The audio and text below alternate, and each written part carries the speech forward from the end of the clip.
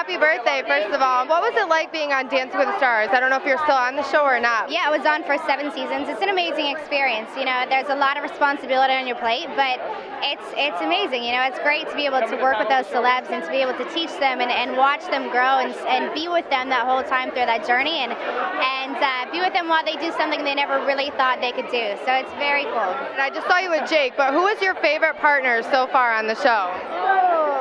Say this while Jake is here? No, I loved Jake. Uh, he was great. I really loved Helio and Ty and Louie Vito. They were my three faves, but I loved them all. I really did.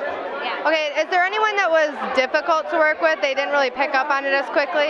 Well, you always have difficulties in your in your rehearsals. You know, it, it's a very hard thing to do. You know, you, they're learning something completely new, and you have to teach them well enough to be able to dance in front of 20 million people. So, let alone learning something new and then the pressure behind it, it's just intense. So there's always difficulties. There's always, you know, your your hard times in, in the studio, but. Um, Okay, and if you could have anybody in the world be your partner, who would your dream partner be? Well, I always say Justin Timberlake, and I know that is like such a far fetch, but he would be amazing. We probably wouldn't have to do anything. He could probably just walk out and win all the votes just for being there. But uh, no, he'd be amazing. Yeah, I mean, he is a pretty good dancer, I'll give you that. So, what do you look for in a dancing partner? In a dancing partner, you know, when it comes to Dancing with the Stars, it is a TV show, so you want them to have a really good personality. When it comes to actual dancing, you want them to be very teachable, very humble, um, and really just eager to learn, because you can go as far as you want to go if they're ready to work and if they're ready to learn.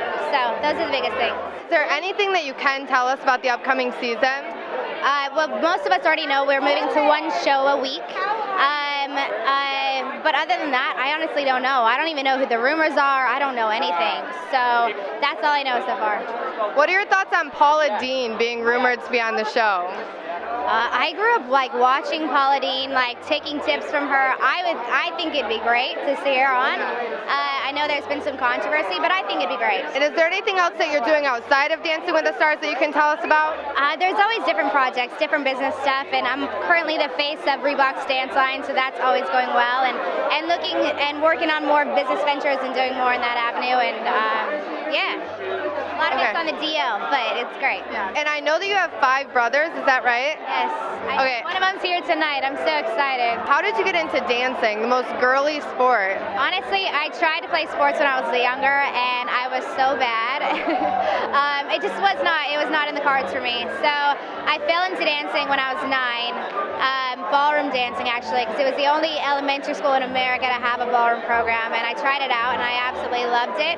And I just could never stay away ever since. So um, thank goodness for that elementary school because I would have never, never have done it. And uh, you know, it's just one of those things that was very fortuitous, very meant to be, and and uh, all of this is just meant to out of all the things that you've done, what is your absolute favorite experience so far?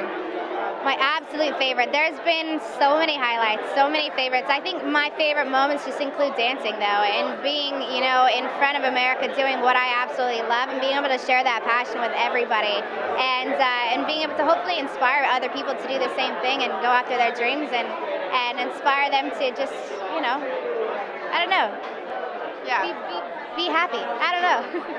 I don't know. You know that Tom Bergeron, Dancing with the Stars, so you think you Can dance, they're all up for Emmys. What are your thoughts on that? Are you surprised? So many friends of mine that are nominated for Emmys. I think it's amazing, and uh, you know, I, I get so excited when I see my friends and, and they're nominated for things. And I had the opportunity to be nominated uh, a couple years ago, and it's an amazing experience. And it kind of just brings everything full circle. It makes everything, all that hard work and all that, that work you put into the studios and all of the the times with your friends and other things that you sacrifice. It makes it all worth it. So I'm very happy for all of them. One thing that you would say to an upcoming dancer or professional dancer on Dancing with the Stars, what would you say? Um, I would say to uh, to go for your dreams. I would say, you know, I think the biggest thing is is to go for what it is that you want to do because I think the person that you turn into is even more worth it than the ending prize. You know, I think those journeys and those successes and those failures that you learn to push through and you learn to to you know appreciate that that's what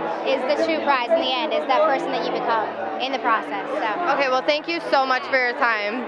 Bye, have fun. Thank you.